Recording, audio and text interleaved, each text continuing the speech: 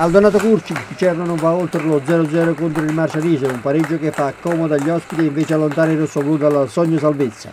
Davanti a circa 300 spettatori infreddoliti dal gelo, mister Arneo schiera lo stesso 11 che ha sbancato il Viviani la settimana scorsa, ad eccezione di Varriale.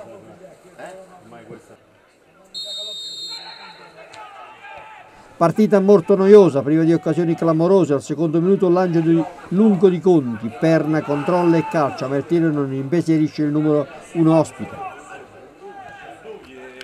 Due minuti dopo rimessa laterale per i gialloverdi, sponda di Sant'Aniello e cross insidioso di Baratto, ma Loimere spinge la difesa lontana. Al dodicesimo calcio di punizione per il Marcianise, ma il cross di Lupertore è facile presa per l'estremo difensore Melandrino. Al ventunesimo ancora il Marcianise che prova a pungere la difesa di casa, ma Loime vigile e intercetta il cross. Al ventisettesimo è Catalano che prova a dare la scossa al Picerno, ma il suo cross non crea pericoli nell'area gialloverde. Al 39 l'occasione più nitida della partita, Ciano salta De Santis e mette in mezzo un traversone che trova Barone solo in aria, ma sulla traiettoria c'è Pascuccio che spinge un gol sicuro.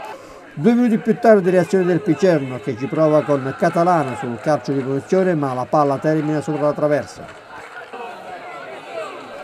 Il primo tempo si conclude con il nervosismo della panchina ospite. Nella ripresa il copione non cambia, poche occasioni e difese attente. Al 47 il Picerno prova a sorprendere i gialloverdi con uno schema su punizione che però si rivela un nulla di fatto. Più tardi ci prova il Marcianese su punizione ma il cross di Moccia trova la respinta dell'attenta difesa rosso-blu.